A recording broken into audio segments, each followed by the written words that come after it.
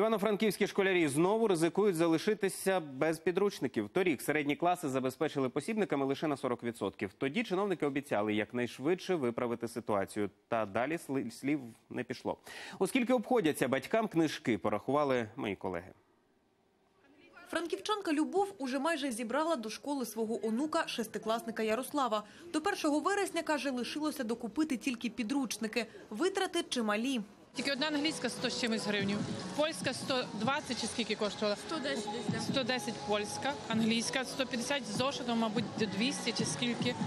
Ну багато. І ще той, ну 500 гривень мінімум ми кожен рік доплачуємо за книжки. Дефіцит підручників в івано-франківських школах уже не перший рік. Найгірша ситуація в четвертих і сьомих класах. Не вистачає майже половини необхідних книжок.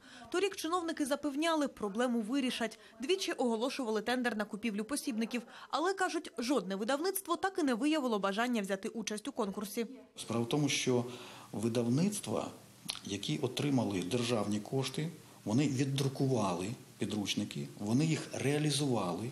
А далі для того, щоб мати новий е, набір підручників, е, треба кошти додаткові. Видавництва це структури, як правило, приватні, комерційні. Тобто вони вже е, не хотіли за ту державну ціну забезпечувати підручники. Придбати підручники за комерційними цінами, які в рази перевищують державні, в обласному департаменті освіти готові і навіть можуть знайти на це додаткові кошти. Але як бюджетна установа не мають на це права. Закупити книжки за держцінами не змогли і школи, які ведуть самостійний бухгалтерський облік. В Івано-Франківську їх лише кілька, і всі вони мають право самостійно, без участі департаменту, укладати такі угоди. Але і їм видавництва відмовили. Українська мова, четвертий клас і літературне читання. Ми не отримали е, другу половину. Е, Сьомий клас українська мова теж, і українська література теж. Бачите, якось так чогось співпадає. Е, Теж видавництво відмовилося друкувати ці підручники. Але коли приходили батьки, значить, до мене і казали, що підручник в магазині є. Чому ж для шкіл підручників немає, а в книжкових магазинах їх удосталь? Педагоги припускають, найімовірніше частину накладу, видрукованого державним коштом, видавництва продали комерційним структурам. Школам вони повинні надавати підручники за ціною приблизно 30 гривень за книгу, а приватникам у рази дорожче.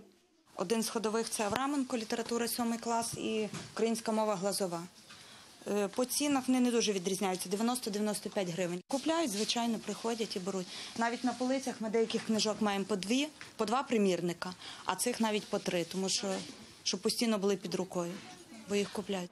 Чи вдасться розв'язати проблему з нестачею підручників у департаменті освіти прогнозувати поки що не беруться. Але при цьому повідомляють, є велика ймовірність, що наступного року школам все одно доведеться закуповувати нові книжки, адже Міносвіти майже щорічно змінює навчальні програми.